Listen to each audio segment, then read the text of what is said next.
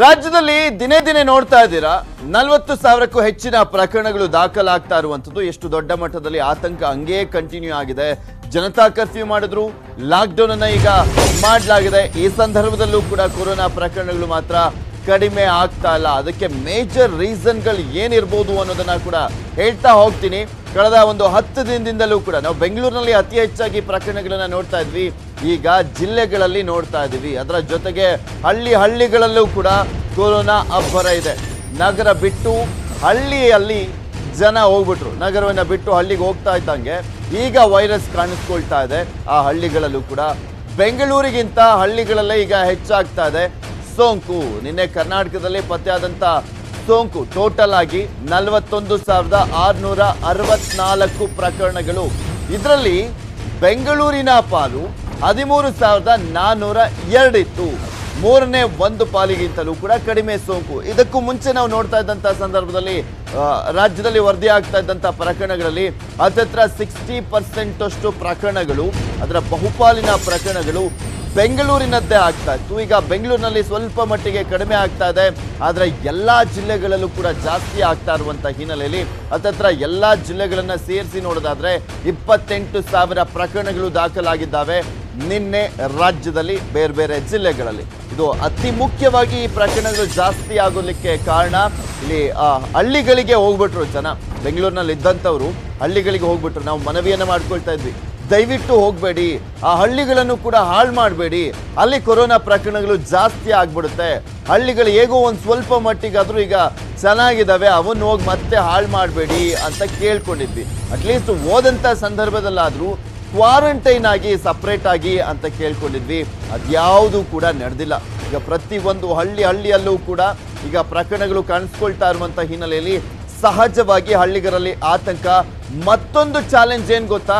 ಈಗ ಬೆಂಗಳೂರಲ್ಲಿ ಬಂದರೆ ಒಂಥರ, ಬೆಂಗಳೂರಲ್ಲಿ ಜಾಸ್ತಿ ಪ್ರಕರಣಗಳು ದಾಖಲಾಗ್ತಾ ಆದರೂ ಕೂಡ ಇಲ್ಲಿ ಒಂದು ಮಟ್ಟಿಗಾದರೂ ನಾವು ಈ ಆಸ್ಪತ್ರೆಗಳನ್ನು, ಹಾಗೆ ವ್ಯವಸ್ಥೆಗಳನ್ನು ಸ್ವಲ್ಪ ಮಟ್ಟಿಗಾದರೂ ನೋಡೋದಾದರೆ ಪರವಾಗಿಲ್ಲ. ಆದರೆ ಹಳ್ಳಿಗಳ ಮಟ್ಟದಲ್ಲಿ ನೋಡೋದಾದರೆ ತುಂಬ ಒಂದು ಬಿಗ್ಗೆಸ್ಟ್ ಚಾಲೆಂಜ್ಗಳು ಇರುವಂಥದ್ದು ರಾಜ್ಯ ಸರ್ಕಾರಕ್ಕೆ. ಅದನ್ನು ನಿಯಂತ್ರಣ ಮಾಡಲಿಕ್ಕೆ ಸಾಧ್ಯ ಇಲ್ಲ, ವ್ಯವಸ್ಥೆಯನ್ನು ಕೊಡಲಿಕ್ಕೆ ಆಗೋದಿಲ್ಲ, ವ್ಯವಸ್ಥೆ ಇಲ್ಲವೇ ಇಲ್ಲ, ಹಂಗಿದೆ ಪರಿಸ್ಥಿತಿ.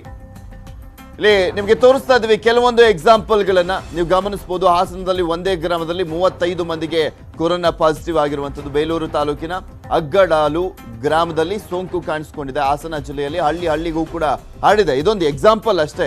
ಸಾಕಷ್ಟು ಕಡೆ ಇದೇ ರೀತಿಯಾಗಿ ಒಂದೇ ಊರಲ್ಲಿ ನೂರಕ್ಕೂ ಹೆಚ್ಚು ಕೇಸು, ಐವತ್ತಕ್ಕೂ ಹೆಚ್ಚು ಕೇಸು ಈ ರೀತಿಯಾಗಿ ವರದಿ ಆಗಿದ್ದಾವೆ ಇನ್ನ ಚಿಕ್ಕಮಗಳೂರಲ್ಲಿ ನಿನ್ನೆ ವರದಿ ಆಗಿರುವಂಥದ್ದನ್ನ ತೋರಿಸ್ತಾ ಇದ್ವಿ ಎಪ್ಪತ್ತೈದು ಜನರಲ್ಲಿ ಕೊರೋನಾ ಪಾಸಿಟಿವ್ ಕಾಣಿಸ್ಕೊಳ್ತಾವು ನಿಮಗೂ ಕೂಡ ತೋರಿಸ್ತಾ ಇದ್ವಿ. ಅಲ್ಲಿ ಪ್ರಮುಖವಾಗಿ ತಹಶೀಲ್ದಾರ್ ಎಲ್ಲ ಆಮೇಲೆ ಹೋಗ್ಬಿಟ್ಟು ಸೀಲ್ ಡೌನ್ ಮಾಡುವಂಥ ಕೆಲಸವನ್ನ ಮಾಡಿದ್ರು. ಇನ್ನು ಆ ಒಂದು ಕ್ಷೇತ್ರದ ಸ್ಥಳೀಯ ಶಾಸಕ ಸಿ ಟಿ ರವಿ ಕೂಡ ಹೋಗಿದ್ರು. ಸಿ ಟಿ ರವಿ ಹೋಗಾದ್ಮೇಲೆ ಅಲ್ಲಿ ಫುಡ್ ಕಿಟ್ ಎಲ್ಲ ಕೊಟ್ರು. ಆ, ಇನ್ನು ಒಂದ್ ಕಡೆ ಬಳ್ಳಾರಿಯಲ್ಲೂ ಕೂಡ ಅಷ್ಟೇ. ಬಂಡೆ ಬಸಾಪುರ ತಾಂಡದಲ್ಲಿ ಕೊರೋನಾ ಕಾಣಿಸ್ಕೊಳ್ತು. ಅಲ್ಲಿ ನಲ್ವತ್ನಾಲ್ಕು ಜನರಿಗೆ ಅಂದ್ರೆ ನಲವತ್ನಾಲ್ಕು ಕೋವಿಡ್ ಪ್ರಕರಣಗಳು ವರದಿಯಾಗಿದ್ದಂಥದ್ದು ಜಸ್ಟ್ ಮೂರು ದಿನದಲ್ಲಿ. ಈ ರೀತಿಯಾಗಿ ಆಲ್ಮೋಸ್ಟ್ ಎಲ್ಲ ಜಿಲ್ಲೆಗಳಲ್ಲಿ ಆಲ್ಮೋಸ್ಟ್ ಎಲ್ಲ ಹಳ್ಳಿಗಳಲ್ಲೂ ಕೂಡ ಕೊರೋನಾ ಪ್ರಕರಣಗಳು ಇಲ್ಲ ಅಂತ ಹೇಳಂಗೆ ಇಲ್ಲ. ಆ ರೀತಿಯಾಗಿ ಪ್ರಕರಣಗಳು ವರದಿಯಾಗ್ತಾ ಆಗ್ತಾ ಇನ್ನು ಈ ಕುರಿತಂತೆ ಮಾತಾಡಲಿಕ್ಕೆ ನಮ್ಮ ಜೊತೆ ತಜ್ಞ ವೈದ್ಯರು ಹಿರಿಯ ವೈದ್ಯರು ಕೂಡ ಆಗಿರುವಂತ ಡಾಕ್ಟರ್ ಅಂಜನಪ್ಪ ಸರ್ ದೂರವಾಣಿ ಸಂಪರ್ಕದಲ್ಲಿ ಜಾಯ್ನ್ ಆಗ್ತಾ ಇದಾರೆ. Good morning sir good morning sir ಇದೊಂದು ಆತಂಕ ನಾವು ಸಾಕಷ್ಟು ಬಾರಿ ಡಿಸ್ಕಷನ್ ಮಾಡಿದಂತ ಸಂದರ್ಭದಲ್ಲೂ ಕೂಡ ವ್ಯಕ್ತಪಡಿಸ್ತಾ ಇದ್ವಿ. ಬೆಂಗಳೂರಿನಿಂದ ಅಂದ್ರೆ ಈ ಲಾಕ್ಡೌನ್ ಆದಂತ ಸಂದರ್ಭದಲ್ಲಿ ದಯವಿಟ್ಟು ಬೆಂಗಳೂರಿಂದ ಹೋಗಬೇಡಿ. ಇಲ್ಲಿ ಹೇಗೋ ಕಂಟ್ರೋಲ್ ಮಾಡ್ಬೋದು ಇಲ್ಲಿ ಹೇಗೋ ಮ್ಯಾನೇಜ್ ಮಾಡ್ಬೋದು ಆಸ್ಪತ್ರೆ ವಿಚಾರಕ್ಕೆ ಸಂಬಂಧಪಟ್ಟಂತೆ ಆಗಿರ್ಬೋದು ಅಥವಾ ಟ್ರೀಟ್ಮೆಂಟ್ ವಿಚಾರಕ್ಕೆ ಸಂಬಂಧಪಟ್ಟಂತೆ ಆಗಿರ್ಬೋದು. ಬಟ್ ಹಳ್ಳಿಗಳಿಗೆ ಹೋಗಿ ಆ ಹಳ್ಳಿಗಳನ್ನ ಆಳ್ ಮಾಡಬೇಡಿ ಅಂತ ಕೇಳ್ಕೊಳ್ತಾ ಇದ್ವಿ. ಬಟ್ ಆಲ್ಮೋಸ್ಟ್ ಈಗ ಪ್ರತಿ ಒಂದು ಹಳ್ಳಿಲೂ ಕೂಡ ಐವತ್ತೈವತ್ತು ಪ್ರಕರಣ ಎಪ್ಪತ್ತು ಪ್ರಕರಣ ಚಿಕ್ಕ ಪುಟ್ಟ ಹಳ್ಳಿಲೂ ಕೂಡ ಈ ರೀತಿಯಾಗಿ ವರದಿ ಆಗ್ತಾ ಇದಾವೆ. ನಿಜ. ಇದು ಲಾಕ್ ಡೌನ್ ಎಫೆಕ್ಟ್ ಅಂದ್ರೆ ತಪ್ಪಾಗಲ್ಲ. ನೀವು ಕರೆಕ್ಟ್ ಆಗಿ ಹೇಳಿದ್ರಿ. ನೀವು ಹೋಗ್ಬೇಡಿ ಅಂತ. ಸರ್. ಜನಗಳಿಗೆ ಜೀವನ ಇಲ್ಲ ಸರ್ ಬೆಂಗಳೂರಿನ ಉಣ್ಣಕ್ ಊಟ ಇಲ್ಲ. ತನ್ನ ಹಳ್ಳಿಗಾದ್ರೂ ಹೋಗ್ತೀವಂತ ಹೋದ್ರು. ಹೋಗೋದ್ರಲ್ಲಿ ತಪ್ಪಿಲ್ಲ. ಅಲ್ಲಿ ಒಂದು ತಪ್ಪು ಏನ್ ಮಾಡಿದ್ರು ಗೊತ್ತಾ ಸರ್. ಇವರು ಇಲ್ಲಿಂದ ಕೊರೋನಾನ ಊರಿಗೆ ತಗೊಂಡೋದ್ರು. ಇವತ್ತು ಸರ್ ಚಿಕ್ಕ ತುಮಕೂರು ಅಂತ ಹಳ್ಳಿ ಇದೆ ದೊಡ್ಡಬಳ್ಳಾಪುರದ ಪಕ್ಕ. ಅಲ್ಲಿ ರಂಗರಾಜು ಅಂತ ನನ್ನ ಕ್ಲಾಸ್ಮೇಟ್ ಇದ್ದಾರೆ ಹೇಳ್ತಾ ಇದ್ರು ಡಾಕ್ಟ್ರೆ ಹದಿನೈದು ಜನನ ಹೋಮ್ ಕ್ವಾರಂಟೈನ್ ನಾವು ಮಾಡಿದೀವಿ. ಕೆ ಎಂ ಎಫ್ ಡಾಕ್ಟರ್ ಒಬ್ರು ಇದಾರೆ ಅವ್ರಿಗೆ ಹೆಲ್ಪ್ ತಗೊಂಡು ನಾನು ಆನಂದ್ ಅಂತ. ಒಂದು ನೂರೈವತ್ತು ಮನೆ ಇರೋ ಊರ್ನಲ್ಲಿ ಹದಿನೈದು ಜನ ಪಾಸಿಟಿವ್ ಇದಾರೆ ಅಂದ್ರೆ ಬೆಂಗಳೂರಿನಿಂದ ಒಬ್ರು ಹೋದ್ರೆ ಸಾಕು ಆ ಊರಿಗೆ. ನಾನ್ ಬಿಗಿನಿಂಗ್ನಲ್ಲಿ ಒಂದ್ ಮಾತು ಹೇಳ್ದೋ ಸರ್.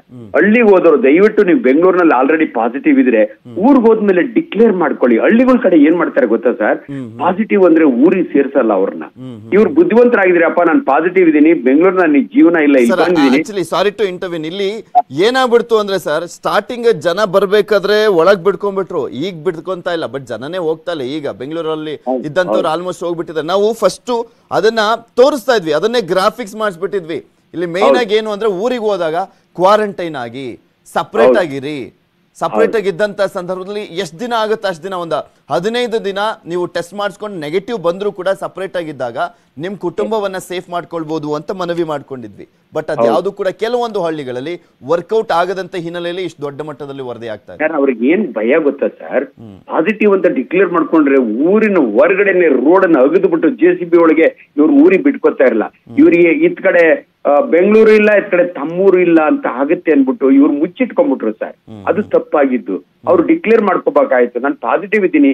ನೀವ್ ಹೇಳ್ದಂಗೆ ನಾವು ನನಗೆ ಗೊತ್ತಿದೆ ಹೇಳಿದಾರೆ ಮಾಧ್ಯಮದಲ್ಲಿ ಕ್ವಾರಂಟೈನ್ ಮಾಡ್ಬೇಕು ಅಂತ. ಕ್ವಾರಂಟೈನ್ ಅಂದ್ರೆ ಹಳ್ಳಿಗಳ ಕಡೆ ಈ ಮೂರ್ ಬೆಡ್ರೂಮ್ ಹೌಸ್ ಇರಲ್ಲ. ಅಟ್ಲೀಸ್ಟ್ ಒಂದು ನಮ್ ದನಿಂಗ್ ಕೊಟ್ಟಿಗೆನೋ ಅಥವಾ ಗುಸ್ಲು ಅಥವಾ ನನ್ನ ತೋಟದೊಳಗಿರೋ ಒಂದು ಗುಡಿಸ್ಲೊಳಗೆ ನಾನು ಇಟ್ಕೋತೀನಿ. ದಯವಿಟ್ಟು ಯಾರು ಅಣ್ತಮ್ದಿರೋ ಚಿಕ್ಕಪ್ ದೊಡ್ಡಪ್ದಿರೋ ನನ್ನನ್ನು ಮಾತಾಡ್ಸಕ್ ಬರಬೇಡಿ. ನಾನು ಅಲ್ಲೇ ಇರ್ತೀನಿ ನಾನು ವಾಸಿ ಆದ್ಮೇಲೆ ಊರೊಳಗೆ ಬರ್ತೀನಿ ನಿಮ್ ಜೊತೆಲಿ ಬೆರಿತೀನಿ ಅಂದಿದ್ರೆ ಈ ತೊಂದ್ರೆ ಆಗ್ತಾ ಇರಲ್ಲ ಸರ್. ಹಳ್ಳಿಗಳ ಕಡೆ ಮೆಂಟಾಲಿಟಿ ಹೆಂಗಿರುತ್ತೆ ಗೊತ್ತಾ? ಒಂದ್ ಪಾಸಿಟಿವ್ ಅಂದ್ರೆ ಅವ್ನ ಒಳಕ್ಕೆ ಸೇರ್ಸಲ್ಲ. ಅದಕ್ಕೆ ಎದುರು ಬಿಟ್ರು ಅವರು ಸೊ ಅದಕ್ಕೆ ಎಲ್ಲೋ ಕಡೆ ನಿಮ್ಗೆ ಗೊತ್ತಿದೆ ನಮ್ ಬೆಂಗಳೂರು ನಾನು ಸ್ಟಾರ್ಟಿಂಗ್ ಹೇಳ್ಬಿಟ್ಟೆ. ಬೆಂಗಳೂರಲ್ಲೇನೋ ಸ್ವಲ್ಪ ಮಟ್ಟಿಗೆ ಮ್ಯಾನೇಜ್ ಮಾಡ್ಬೋದು. ಹಳ್ಳಿಗಳಲ್ಲಿ ತುಂಬಾ ಕಷ್ಟ. ಆಸ್ಪತ್ರೆಗಳಿರಲ್ಲ ಆಕ್ಸಿಜನ್ ಬೆಡ್ಗಳಿರಲ್ಲ ಐಸಿಯು ಬೆಡ್ಗಳಿರಲ್ಲ. ಅಲ್ಲಿ ವಿಕೋಪಕ್ಕೆ ಹೋಗ್ಬಿಟ್ರೆ ಮುಗ್ದೆ ಹೋಯ್ತು ಕತೆ ಅಂತ. ಹೌದು ಹೌದು. ಇದ್- ಆಗಿದ್ದು ಸರ್ ಇವತ್ತು. ಅನ್ಫಾರ್ಚುನೇಟ್ಲಿ ಊರುಗಳ ಕಡೆ ಡೆತ್ ಆಗ್ತಾರೆ. ಅವ್ರಿಗೆ ಆಕ್ಸಿಜನ್ ಸಿಲಿಂಡರ್ ಸಿಗಲ್ಲ ಆಕ್ಸಿಜನ್ ಇರೋ ಬೆಡ್ ಸಿಗಲ್ಲ.